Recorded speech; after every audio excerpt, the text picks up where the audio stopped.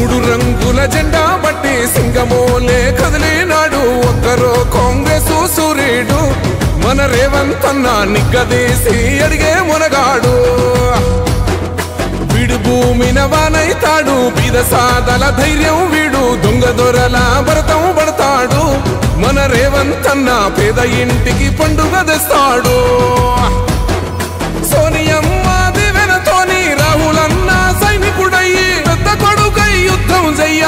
సిద్ధమాయే రేవంతన్నా మూడు రంగుల జెండా బట్టి సింగమోలే కదిలినాడు. ఒక్కరో కాంగ్రెస్ సూర్యుడు మన రేవంతన్నా నిగ్గదీసి అడిగే మునగాడు.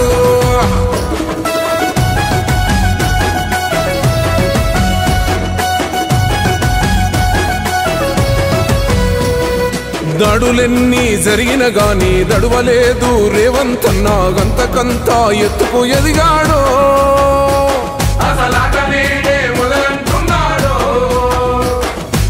మొక్కనాడు పోలేదు ఒక్కడయ్యి కొట్లాడాడు. అందుకే పెద్ద నాయకుడయ్యాడు.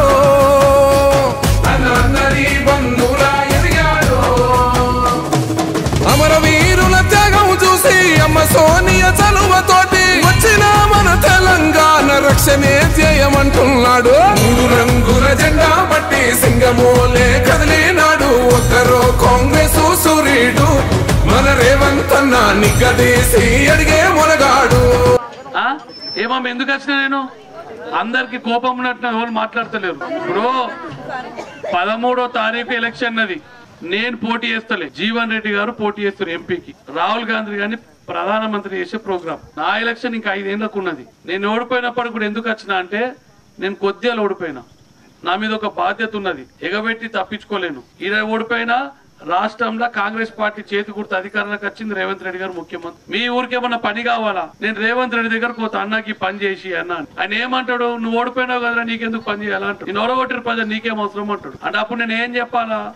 నన్ను- నన్ను ఓడగొట్టిండ్రు వాళ్ళు తెలుసుకున్నారు. మళ్ళా జీవన్ రెడ్డి గారిని గెలిపించిండ్రు. ఈ పని చేసి అని అడిగేందుకు వచ్చినాను. నన్ను బలవంతుని తయారు చేయమని వచ్చినాక నన్ను గెలిపిమని రాలే మీ నన్ను బలవంతుని తయారు చేస్తే మీ పని చేసి పెట్టే బాధ్యత నాది. ఈ రోజు మీకు ఇండ్లు కావాలనేది కానీ కాంగ్రెస్ పార్టీ చేయాలి. మన ఎలక్షన్లు అప్పుడు మీకు ఏం చెప్పారు టీఆర్ఎస్ వాళ్ళు? కాంగ్రెస్ పార్టీ గెలిస్తే కరెంట్ రాదని చెప్పిండ్రు కాంగ్రెస్ పార్టీ గెలిస్తే పింఛన్లు ఆపుతారని చెప్పిండ్రు అట్లా భయపడి ఎందరో మంది మన కోట్లు వేయలే. అయినా కడదాకి వచ్చినాం కొద్దిగా ఊడిపోయినాం. చెప్తా ఒక్కొక్కటి చెప్తా. మీ అన్ని నేను చెప్పినాక నాకు అడుగుండ్రి ఇనుండ్రి నేను చెప్పేది ఇనుండ్రి కాంగ్రెస్ వాళ్ళు టిఆర్ఎస్ పార్టీ రాష్ట్రంలో ఓడిపోయింది కాంగ్రెస్ పార్టీ అధికారంలోకి వచ్చింది. మీకు పెన్షన్ వస్తున్నది మీకు ఉచితంగా ఇరవై నాలుగు గంటల అమ్మ కొద్ది ఇనుండ్రి నా మాట. ఇరవై నాలుగు గంటల కరెంట్ వస్తున్నది దాంతో పాటు మీ ఇళ్ళకు కూడా ఉచితంగా కరెంట్ వచ్చింది. మీ సిలిండర్ కొంతమందికి నాలుగు వందల రూపాయలు పడ్డాయి కొంతమంది పడలేవు అంటున్నారు అది మాట్లాడతాము. అది కానూన్ అయితే అయిపోయింది. అమ్మ అమ్మ చెప్పండి కదా. బస్ ప్రయాణం చేసినాం. కాకపోతే బస్సులు ఫుల్ అయిపోతున్నాయి. మొన్నటిదా ఖాళీ ఉంటుండే ఇప్పుడు అక్కర గ్రామాలు కూడా ఎక్కుతున్నట్టున్నారు. బస్సులన్నీ గుద్దుకుంటారు బస్సులలో దానికి మేమేం చేస్తామమ్మా? ఫ్రీ చేస్తామన్నా ఫ్రీ చేసి. దావకాన్లకు పోతే పది లక్షల ఆరోగ్యశ్రీ కింద ఉచితంగా చేపించు. నాలుగు పనులు అయిపోయినాయి. మొన్న టీఆర్ఎస్ వాళ్ళు ఎలక్షన్ అప్పుడు మీకు మూడు లక్షలు ఇల్లు కట్టుకుందని పేపర్ ఇచ్చిండ్రు. ఇచ్చి రొక్కీలను కట్టుకోగలిగినామా? అంత మోసం అని ఆ రోజు నేను చెప్పిన. మీరు ఎవరు నమ్మలే. ఆ పేపర్ విలువ లేదని చెప్పిన. ఇప్పుడు ముఖ్యమంత్రి గారు మూడు వేల ఐదు వందలు ఇల్లు ఇచ్చారు కాన్స్టిట్యున్సీకి నాకు. అమ్మా ఈయనమ్మా నువ్వు నన్ను మీరు వాళ్ళు ఇల్లు ఇచ్చిండ్రు. మూడు వేల ఐదు అంటే మీ ఊరికి ముప్పై నలభై ఇండ్లు వస్తాయి. ఆ ఓళ్ళకి ఇద్దామంటే ఇల్లు లేని వాళ్ళకి ఇద్దాం. అందులో ముసలోళ్ళకి ఇద్దాం. కాలు చేతులు లేని వాళ్ళకి ఇద్దాం. మీ మహిళా సంఘాలకు అప్పచెప్తా మీరే పంచుకోండి. ఒకవేళ మీరు కానప్పుడు మేము డిసైడ్ చేస్తాం. ముందు మేము డిసైడ్ అయ్యాం ఎందుకంటే మమ్మల్ని మళ్ళీ తుక్కు తుక్కు తిడతారు మీరు. అరే ఆ ఇచ్చారు దోస్తులకు ఇచ్చుకున్న కార్యకర్తలకు ఇచ్చారు మీకే అప్ప చెప్తా కారు గుర్తోడు పదేళ్ళ అధికారం ఉన్నాడు మీకు ఒక్క ఇల్లు ఇవ్వలేదు మీ ఊరికి. మేము ఏడాదికి మూడు వేలున్నర ఇల్లు ఇస్తామంటున్నాం కాన్స్టిట్యున్సీకి. పదేళ్ళ అధికారం నాడు బియ్యం కరెక్ట్ ఇవ్వలేడు. అయినాడు ఆడు కోటేసిండ్రు మేము వచ్చి రెండు నెలలు కాదే మా సంసారం పెట్టి నాలుగు నెలలు అయింది. రెండు నెలల నుంచి ఎలక్షన్ నడుస్తున్నది. మేమేమంటున్నాం మిరుక్కు పని అయిపోతుంది. ఏది ఎలక్షన్ పని? మిరుగు నుంచి ఒక మూడు నాలుగు నెలల లోపట మీకు బియ్యం కరెంట్ ఇచ్చే బాధ్యత నాదని చెప్తున్నాం. బియ్యం కరెంట్ పాటు రుణమాఫీ రెండు లక్షల రుణమాఫీ. గతంలో కాంగ్రెస్ పార్టీ వేసింది మళ్ళా రెండు లక్షల రుణమాఫీ వేస్తుంది కాంగ్రెస్ పార్టీ ఆగస్టు పంద్ర ఆగస్టుకు. జెండా వందనానికి. అదైపోయినాక మరి భూమి ఉన్నోళ్ళకైనా అన్ని భూమి లేని వాళ్ళు ఎంతో మంది పేదలు ఉంటారు ఇక్కడ మకాయిలలో వాళ్ళకు ఏడాదికి పదిహేను వేలు ఇస్తామని కాంగ్రెస్ పార్టీ చెప్పింది అది కూడా జరుగుతుంది. దాంతో పాటు రెండు వేల పద్నాలుగు కింద పెన్షన్ వాళ్ళకే పింఛన్ వస్తున్నది బీడీ పింఛన్. రెండు వేల పద్నాలుగు తర్వాత వాళ్ళకి ఎవరికి రాలే. అది కూడా వేసుకోవాల్సినటువంటి అవసరం ఉన్నది.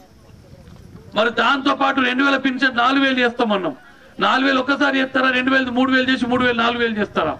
చేస్తారు కానీ సమయం కావాలి. అలా పదేళ్ళు ఇచ్చారు మాకు కారణాలు సమయం మీరు ఇంకా. మీ పింఛన్ పెరుగుతుంది. మహాలక్ష్మి కింద రెండు వేలు రావాలా? ఏడాదికి పదిహేను వేలు రావాలా? రుణమాఫీ జరగాల? పేదలకు ఇల్లు జరగాల? ఇక మిగతా చిన్న చిన్న పనులు అయితే చేస్తూనే ఉంటాం. ఏ సీఎంఆర్ఎఫ్ వచ్చినా నేను చేపిస్తున్నా. ఏదైనా నేను చేపించే సిద్ధంగా ఉన్నా నన్ను బలవంతుని చేస్తే మీ అవసరాలను తీర్చే పద్ధతి నాది. కాంగ్రెస్ పార్టీ అధికారంలోకి వచ్చింది. మీరు అందరూ అడ్లు జోకిచ్చారు కదమ్మా అడ్లు జోకిచ్చిర్రా? వాళ్ళకన్నా కడత కొట్టిర్రా?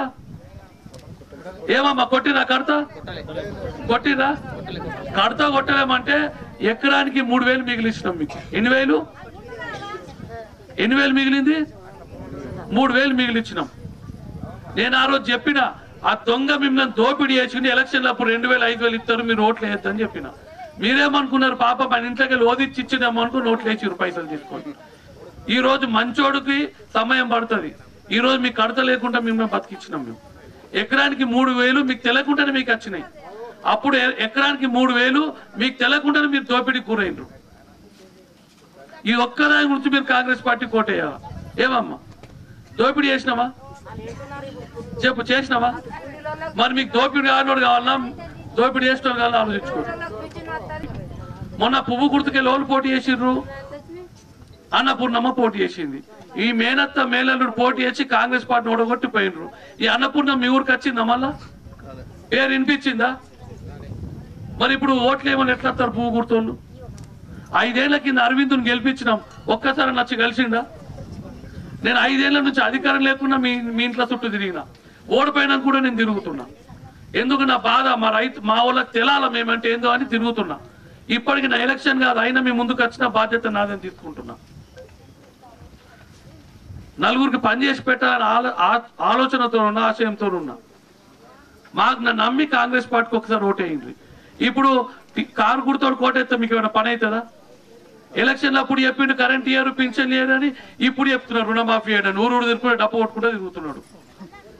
దొంగ బాగా డబ్బులు సంపాదించి మీ దోపిడీ చేసిండు పంచి గెలిచిండు. ఇప్పుడు తప్పు కొట్టుకున్నా మళ్ళా బంధనం చేసేందుకు తిరుగుతున్నాడు.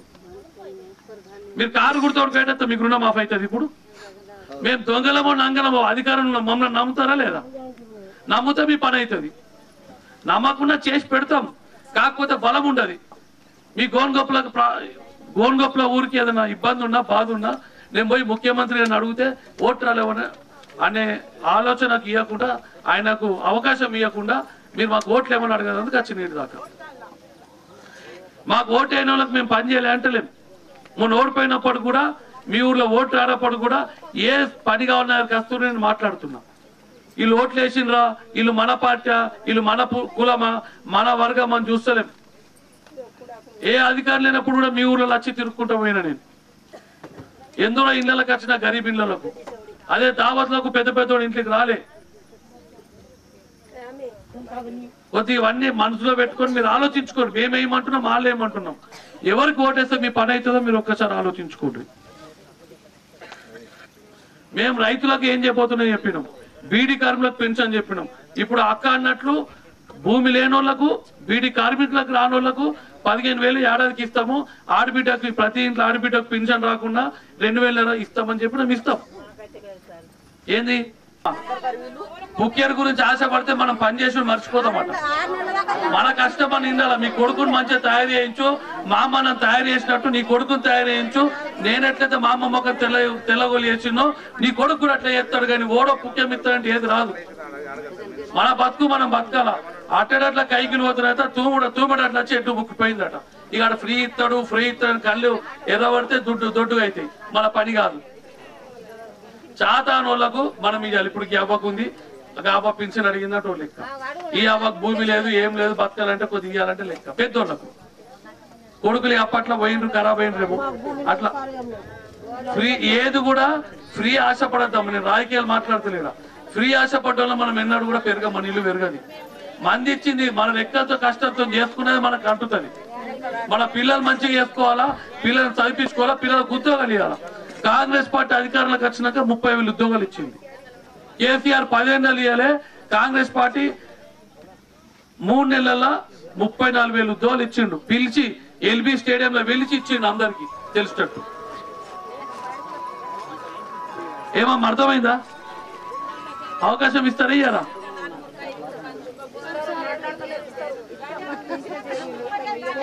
మా లంగలము దొంగలం అని కూడా చెప్పిన.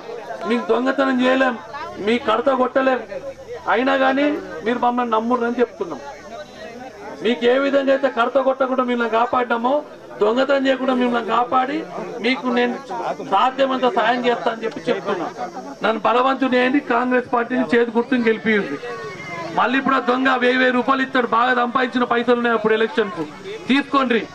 మీరు ఎవరు కోటైనా కాళ్ళ కోటేయండి.